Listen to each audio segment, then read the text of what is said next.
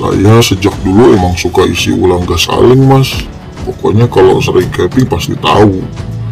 Lumayan banget kan, isi ulang di kenalan sebotol cuma 5000 Nah, kalau beli baru nih harganya bisa nyampe 25 ribuan. Aman gak sih Kang? Ya ini kan ada alatnya dikeluarin pabrik, bukan kita rakit sendiri.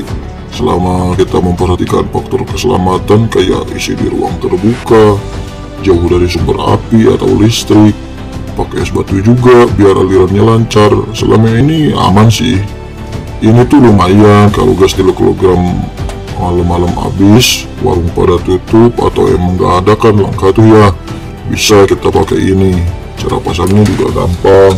Nanti nih bikin bakso tahu bungkusnya pakai gas ini. Ya kalau bakso tahu udah pastilah bahan utamanya tahu. Masa paku payung. Ada juga bawang putih sama daging. Daging apa aja? Daging tikus juga kalau situ suka silahkan. Kalau saya mau ogah. Kalau saya ini pakai daging ayam. Udah mati emang ayamnya. Jadi ini ayam tiren nih. Kalau dibilang ayam tiren kesannya kayak abis mati kelindestruk ya Ini mah mati dipotong bukan bangke Aduh, kaget saya tadi. Di situ pikir aja, mana bisa masak ayam kalau ayamnya masih hidup mas. Ibu dari tadi jawabannya ketus. Anda juga sih, tanya-tanya terus, risih saya, bukan ngebantuin. Jadi ini daging tadi dicampur sama bawang putih. Mau bawangnya digoreng dulu atau enggak, balik lagi ke selera. Ini mah enggak.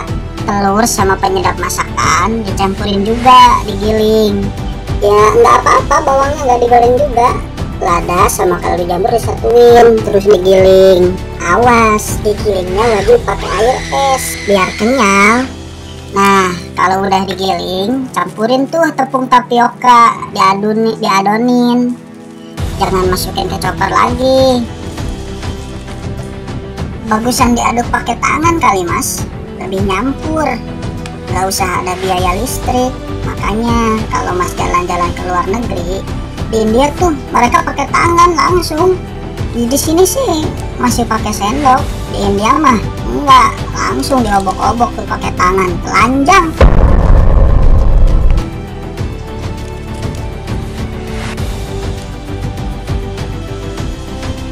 Baru deh adonan bakso kita masukin ke kulit tahu. Nah kalau udah dicampurin, habis itu siap kita kukus. Iya dikukus. Kalau dikukus kan cuma butuh air direbus aja. Digoreng juga sebetulnya bisa. Enak juga. Tapi kalau digoreng kan harus beli minyak. Kolesterol jadi tinggi nanti. Ini tuh bagusnya selagi dikukus atasnya ditutup. Tapi saya males ngambil tutup pancinya. Udah deh, yang penting kerekam ya. Itu kan beli daging sama tahunya kebanyakan tahu. Dagingnya kita beli cuma sekilo. Masih banyak sisa tahunya. Sayang kalau dibuang. Kita masak gehu aja. Tahu kan gehu? Pertama kita iris bawang putih, bawang merah sama cabe. Kalau suka pedas, Gak suka pedas mah jangan, jangan pakai cabe.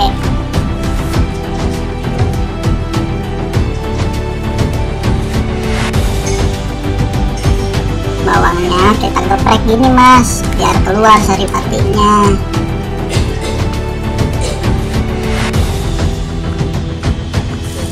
Rempah-rempah bawang sama cabai tadi dimasukin ke minyak panas sampai wangi.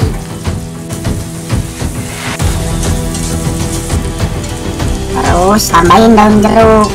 Jeruk kecil yang suka dipakai campuran sambal itu. Iya, daunnya aja. Nah, rahasia tumisannya itu di sini.